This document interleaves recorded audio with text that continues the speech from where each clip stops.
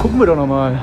Zwei Wochen später. Nick und seine Kumpels haben das gute Wetter genutzt, spontan ohne uns weitergemacht und so einiges abgearbeitet. Unterkonstruktion ist soweit eingebaut.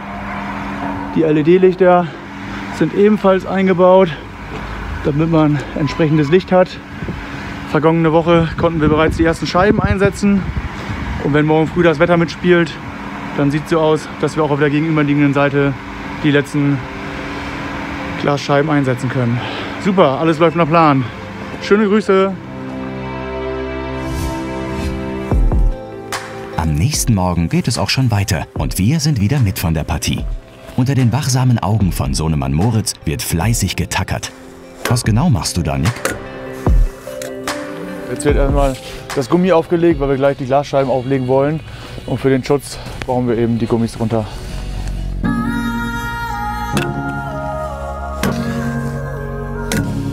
Außerdem sorgen die Gummibänder dafür, dass die Glasscheiben nicht von den Sparren rutschen und kein Wasser dazwischen eindringen kann. Sind alle Sparren mit Gummis versehen, geht es ans Glas montieren.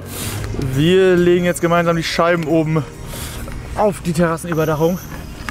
Uh, muss man ein bisschen vorsichtig bei sein, dass uns die nicht kaputt gehen. Wie gesagt, viele Hände, rasches Ende. Die Eindeckung von Nick besteht aus 8 mm starkem Verbund-Sicherheitsglas. Die linke Seite ist mit 3,60 Meter, die rechte mit 4 Meter langen Scheiben eingedeckt. Doch beim Auflegen selbst sind nicht nur genügend Helfer und schnittfeste Handschuhe wichtig. Nick durchdrücken. Ja, super. Und langsam runter, langsam runter, Nick. Perfekt. Dass äh, jeder mit anpackt und dass man äh, darauf achtet, dass man in der Mitte nicht durchbricht. Dementsprechend sind die ja, Anweisungen von jedem wichtig, darauf zu hören, was man sagt und dass wir das Glas passend oben aufgelegt kriegen. Als erstes wird die Glasscheibe auf die Fußfette gehoben. Das nimmt schon mal viel Gewicht runter. Nun kann man sie gemeinsam auf die Wandfette, in Nicks Fall den Giebel heben. Nick durchdrücken. Die Scheibe muss vorsichtig in der Luft gedreht und auf den Gummiprofilen abgelegt werden. Auch wenn es kein Hexenwerk ist, Geschick und Kommunikation sind dennoch sehr wichtig. Nachdem alle Glasscheiben aufgelegt sind, kümmert sich Nick um diese Schienen. Diese werden, sollen, ja was denn Nick? Die Schienen legen wir jetzt auf, die mittleren und Außenschienen, damit äh, das Glas entsprechend auch befestigt werden kann. Mit deinen Fragen, das ist ein bisschen heftig. Die Antwort ist eigentlich ganz einfach. Die Schienen, die dichten ab. Weiß ich doch. Aber die halten das Glas doch auch fest, oder nicht? Genau, um das Glas, Ja. Glas zu fixieren. Dann haben wir Abrutschwinkel montiert, Ja. damit das Glas nicht nach vorne wegwandern kann. Dann läuft die Scheibe sozusagen gegen. Also Nick, deine Chance. Wofür sind diese Verlegeprofile? Wir haben jetzt nochmal die Verlegeprofile draufgelegt und hinten mit dem Abrutschwinkel, dass das Glas nicht rausrutschen äh, kann. Dementsprechend einmal an der Außenkante und an den Mittelprofilen haben wir diese eben aufgelegt. Super, danke. Man darf nur darauf stehen, oder? Im Anschluss geht es für Nick auf das neu geschaffene Dach. An einigen Stellen haben sich die Gummidichtungen verdreht und müssen nun begradigt werden. Wenn sie nicht flach auf dem Glas aufliegen, besteht die Gefahr, dass Wasser zwischen die Glasflächen läuft. Während Nick sich um die Gummidichtungen kümmert, baut sein Kumpel die letzte Unterkonstruktion für die Abschlusskante der Terrasse.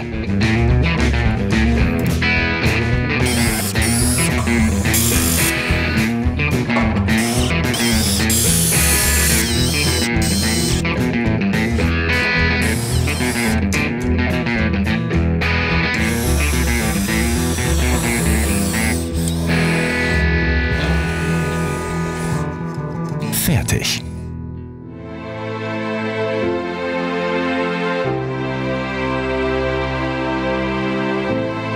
Ein paar Tage später ist auch die Terrasse selbst endlich gepflastert. Zusammen begutachten Nick und seine Frau das Gesamtwerk. Also wir nutzen die Terrassenüberdachung eigentlich seit dem ersten Tag. Ist natürlich genial, ähm, bei Sonnenschein sich da unter das Abdach zu setzen. Ähm, unser Garten sieht noch aus wie Kraut und Rüben. Das stört mich persönlich eher weniger, aber äh, die bessere Hälfte hat es natürlich äh, dementsprechend gerne bepflanzt. Aber wir ähm, haben uns eigentlich seit dem ersten Tag unter die Terrasse gesetzt. Der Grill ist natürlich schon direkt angeschmissen worden und ja, ist schon ziemlich perfekt, so eine Terrassenüberdachung zu haben. So Nick, Wie ist dein Resümee? Würdest du es nochmal selber machen oder lieber machen lassen? Also ähm, ich persönlich hatte wirklich Respekt davor, Terrassenüberdachung selber aufzubauen. Ähm, wenn ich jetzt nochmal wirklich, und wir haben jetzt letztendlich ein Haus gebaut, ähm, guckt man immer auf die Kosten, muss man immer schauen, wie es geht. Und ich würde im Nachhinein es genau so wieder machen, ähm, weil da natürlich schon einiges an Ertrag hängen bleibt, wenn man diese Sachen eben selber macht. Wir haben hier äh, mit Sicherheit eine Menge Arbeit reingesteckt. Ähm, es ist einfacher zu sagen, lass die Jungs von Städter kommen, die sind Profis. Wäre mit Sicherheit auch einfacher gewesen. In diesem Fall bin ich aber wirklich gut und zufrieden damit, dass wir es selber gemacht haben.